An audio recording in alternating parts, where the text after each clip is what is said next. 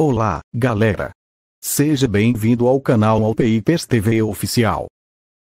No vídeo de hoje respondo, será que o Motorola Moto 7 Plus tem a tecnologia do leitor da impressão digital?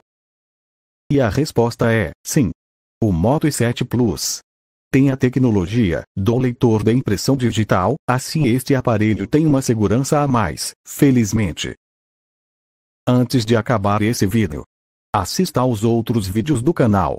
Temos várias playlists de smartphone para tirar as suas dúvidas. Descubra o que você precisa saber, de forma rápida e sem enrolação. Temos playlist do Galaxy S20 FE, Redmi Note 9S, Moto G20, G60, LG K22 e muito mais. Deixe o seu like aí por favor, e inscreva-se no canal, e até mais.